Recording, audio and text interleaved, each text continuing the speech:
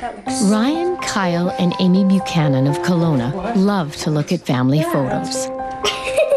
Five year old Amy doesn't remember her baby days, or that she nearly lost her life at age 10 months when she seemed to have the flu and her mother took her to the local hospital. The doctor came in and he said, Your daughter is very ill. We'll do everything we can to get her through the night.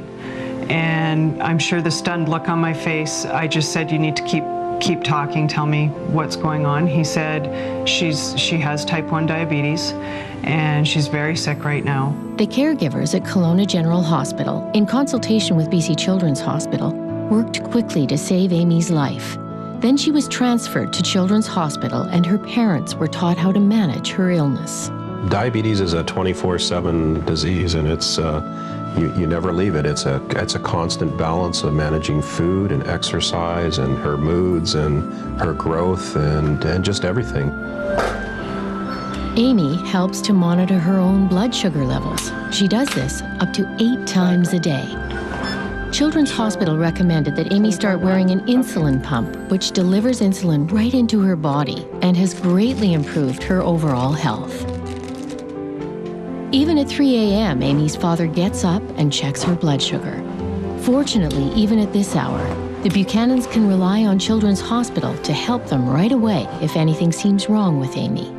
So many of the challenges that uh, that happen with diabetes don't uh, uh, occur during the nine to five working hours. So they occur sometimes uh, in the evening times, overnight, or first thing in the morning. So all of our patients do have access to 24-hour pager service ca uh, carried by one of our physicians to help them with uh, insulin adjustment or sicknesses that may come up or problems with their insulin pump. We gotta go in there. Twice a year, Amy comes okay. down to Children's Hospital for a thorough checkup. The diabetes clinic here cares for 900 of the province's young diabetes patients, and the numbers are going up. Type 1 diabetes is increasing about 2 to 3% per year worldwide.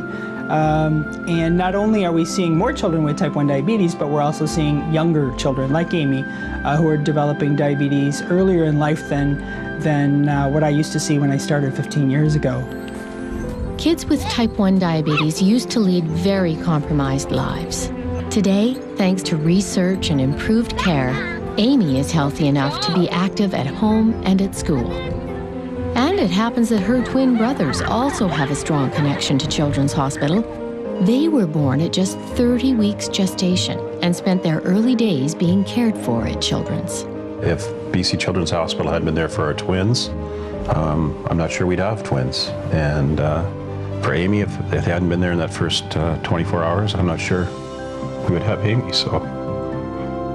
The level of care that our entire family received when the boys were born, I just knew that's where we needed to be to know what we needed to do for Amy.